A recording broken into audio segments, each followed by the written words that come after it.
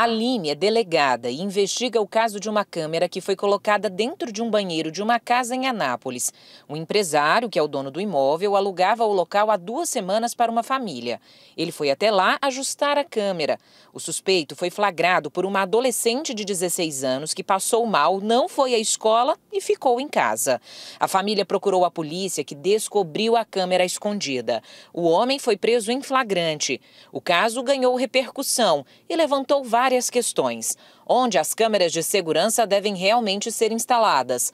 Câmeras dentro de casas de aluguel ou temporada, hotéis e motéis são permitidas?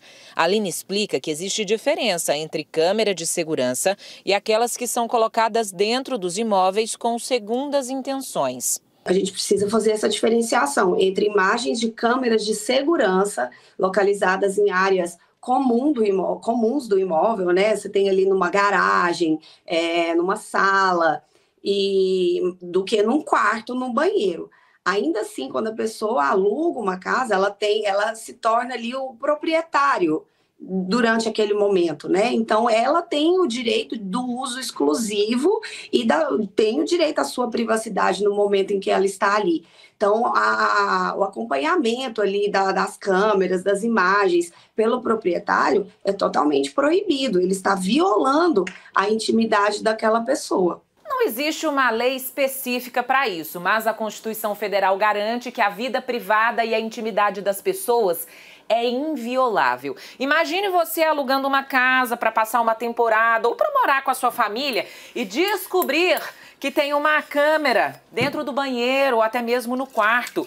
Tem gente, donos de imóveis, que colocam câmeras na sala e até em ambientes como esse aqui, ó, na cozinha. Mas aqui também podem ser registradas imagens de intimidade que você não quer que ninguém veja. Inclusive, você colocar uma câmera de segurança aí na sua casa, no quartinho do bebê, tá tudo bem, é direito seu. Mas imóveis de aluguel ou temporada, gente, as câmeras de segurança têm que ser colocadas do lado de fora. As pessoas que estão alugando precisam ser avisadas e precisam consentir com aquilo.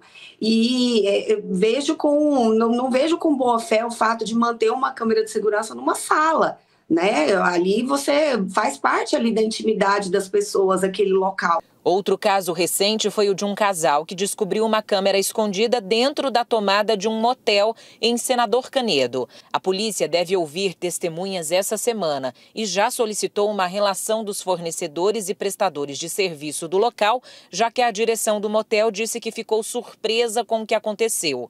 Matheus é advogado criminal e explica como essa questão das câmeras em locais privados é compreendida pela Justiça.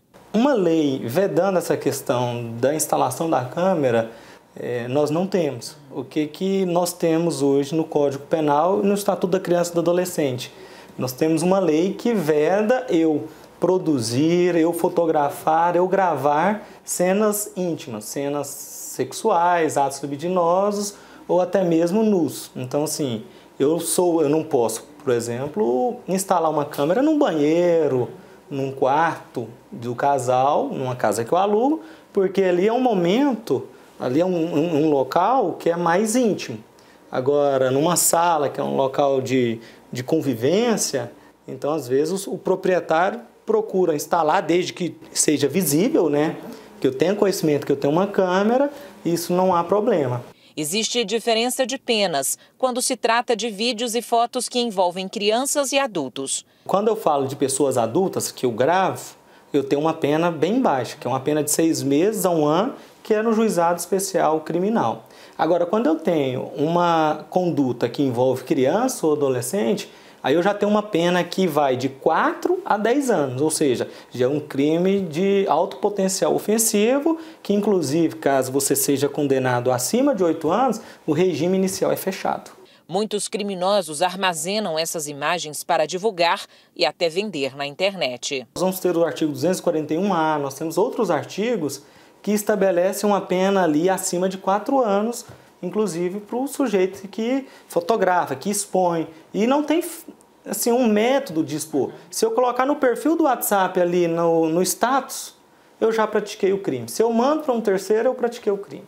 A pessoa tem o intuito ali ou de satisfazer a própria lascívia, né? Ela se excita com aquele tipo de imagem, com aquela proibição, a forma como aquela imagem é captada.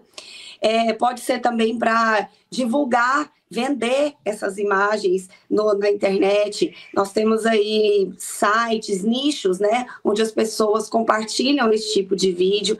Então, são as intenções das pessoas que nunca são é, lícitas, né? Sempre tem aí algum, alguma, alguma intenção inadequada por trás.